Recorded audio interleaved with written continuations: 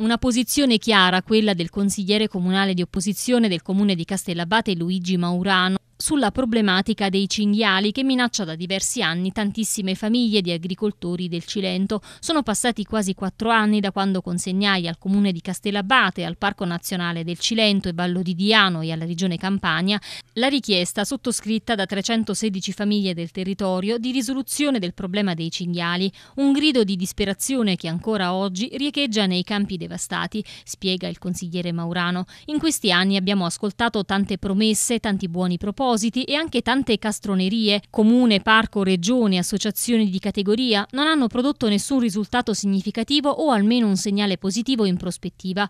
Alcuni se ne sono lavati le mani, sottolinea Maurano, nascondendosi dietro un menzognero, non è di mia competenza. Altri hanno cercato di trovare una soluzione, sbagliando però la strategia di intervento. Altri ancora sono rimasti in silenzio con l'italica convinzione che tergiversare sia meglio di affrontare le questioni. E mentre chi doveva intervenire non è intervenuto o è intervenuto male, il settore agricolo del Cilento subiva danni enormi a livello economico-produttivo. Siamo terra di prodotti DOP, siamo orgogliosamente conosciuti nel mondo per la nostra enogastronomia, siamo la culla della dieta mediterranea, l'agricoltura dovrebbe essere tutelata e sviluppata, quello dei cinghiali dovrebbe essere il primo problema da affrontare nell'agenda di qualsiasi sindaco, di qualsiasi dirigente del parco, di qualsiasi parlamentare del Cilento. Senza agricoltura si depotenzia anche il turismo, la sinergia tra questi settori è vitale. Il Sud Italia ha questi due grandi motori di sviluppo. Non risolvere il problema dei cinghiali vuol dire anche favorire lo spopolamento del Cilento, vuol dire abbandonare le campagne e quindi avere un territorio con maggiore rischio di incendi e rischio di dissesto idrogeologico.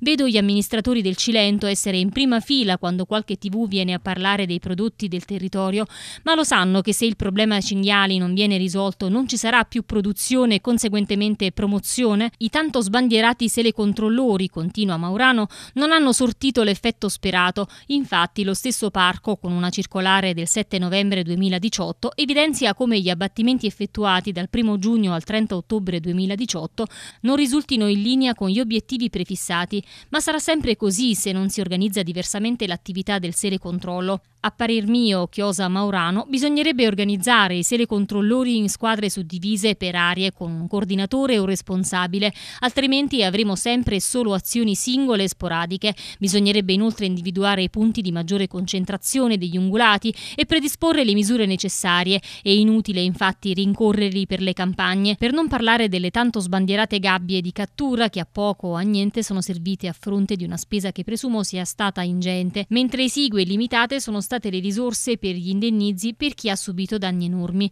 Gli agricoltori del Cilento sono costretti a pagarsi recinzioni e riparazioni.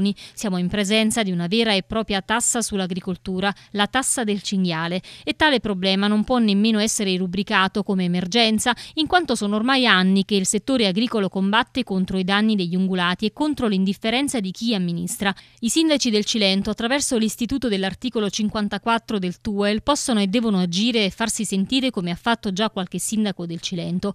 Il presidente del parco non dovrebbe vivere la vicenda come un attacco personale, ma capire invece che la situazione è ormai insostenibile e insopportabile. La regione Campania può e deve attuare un piano regionale, così come già hanno fatto altre regioni d'Italia. Ho letto che a breve ci sarà un consiglio straordinario del parco. Spero, conclude Maurano, non sia una classica riunione tra sindaci, la maggior parte dei quali fino ad oggi ha sottovalutato e mai affrontato il problema. Spero che il presidente del parco voglia aprire il consiglio a tutte le associazioni di categoria e soprattutto ai cittadini del territorio del parco. Deve esserci un confronto diretto, franco, anche duro se necessario, ma un confronto che porti a una soluzione chiara, precisa, reale e attuale. Ne va del futuro della nostra agricoltura, del nostro futuro, del nostro territorio e della nostra economia.